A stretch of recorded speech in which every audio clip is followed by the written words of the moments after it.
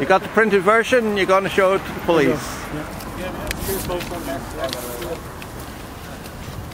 Now, I'm formally telling the Gardaí that um, two judges, a judge in Spain, Baltasar Garzón, and a French judge, Judge Sophie Hélène Chateau, have both filed commission rogatoire for the detention of Henry Kissinger, former US Secretary of State, for questioning under the European Convention on Mutual Assistance in Criminal Matters.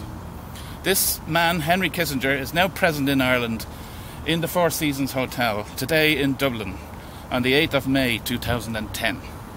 So I'm now telling the Garda Sergeant in charge of here that this man is present and ought to be detained and held for questioning by these judges. Garda E2, Spain. E27.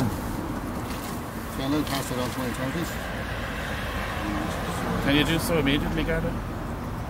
So I'll make a call. Could you discharge your duty? Unless this man disappears warrant. before. We'll need a warrant. Well, that's up to the authorities here. We're informing the authorities now that this man is present, that their obligation is, under the European Convention, to have him detained and brought to Paris or Madrid for questioning. I Appreciate you need a warrant to do that. Yeah, but the authorities here can do that. Absolutely. Yeah. Yeah. Well, Until we get the warrant, but we can't we're- I know that, but we're saying that they, we're now informing the authorities in public here in front of witnesses. I'll pass that on. Yeah. Okay. Thanks very much indeed. All Thank right, you. Thank you, Sergeant. Just Thanks. Yes, Seamus Rankingham. Thanks, Seamus. Can you give us a spiel, Seamus? What you've done exactly? And Yeah, then we've just told the Garda authorities who are present here uh, that a man known as Henry, Henry Kissinger, former Secretary of State of the United States, is wanted for questioning in Paris and Madrid in connection with war crimes in Chile against citizens of France and citizens of Spain. And now we've now told the Irish authorities that this man is present here, and under the European Convention on Mutual Assistance in Criminal Matters, he ought to be detained and brought to Paris or Madrid.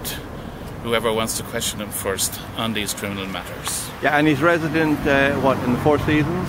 He's present in the Four Seasons Hotel at a meeting of a body called the Trilateral Commission.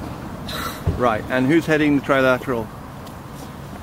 Well, I don't know who's actually in there right now Yeah, because we don't know who goes in and out. With Rockefeller?